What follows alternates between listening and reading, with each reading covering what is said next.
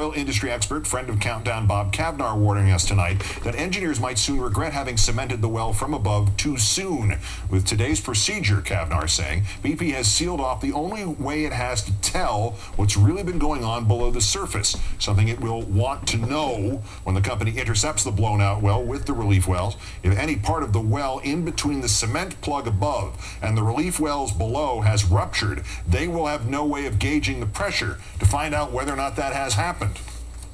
that the well has not yet actually been killed.